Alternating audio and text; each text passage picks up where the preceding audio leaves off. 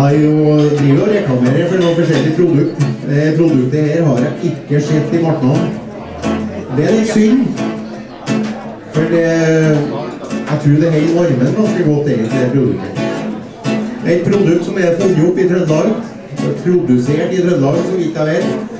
Og eh, jeg mener at det er ikke noen annen plass enn i Trøndelag en kunne ha funnet på noe sånt.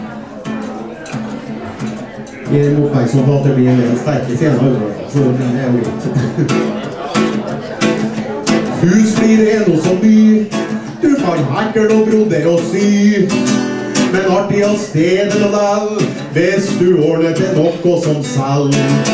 Og får du ikke offentlig penger, må du stelle den alle jo trenger. Nå for stort og for smått og for trasig og trått, og det bruk der det skulle ha stått.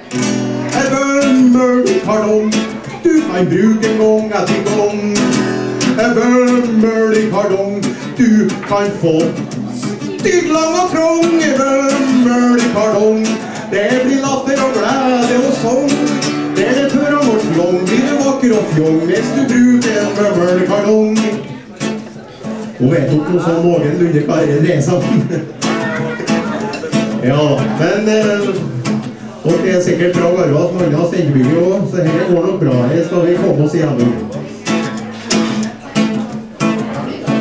Den har fått veldig mye å si til folk som gikk rundt og var lei. Den gir arven til fryktelig mange som før bare gikk rundt og slang. Det er gjort en helt annen tid, det har gjort en helt annen blid. Nå så har vi forstått at det var å knott når det kleia så utruende godt. En vømmøl kardong, du kan bruke en gang etter gang. En vømmøl kardong, du kan få styrt lang og trong vømmøl kardong. Det blir latter og glede og sang. Er det før av norsk long, blir du vakker og fjong hvis du bruker en vømmøl kardong. Ja, da kommer vi oss med et vers til. I siste verset så bruker jeg liksom å komme med noen tips hvis det er noen som har lyst til å begynne med noe annet sjøl. Eh, jeg var jo blant annet en gang og spilte i et husflidslag på Sandvollan. De kom på etterpå at de kanskje skulle ordne en bunadskardong. Fjellbykardong, er det sånn? Kystkardong. Så det er uante muligheter, egentlig. Det er bare å bruke fantasien. Har at jeg kanskje kunne prøve å strekke en kardong jeg kunne tøve.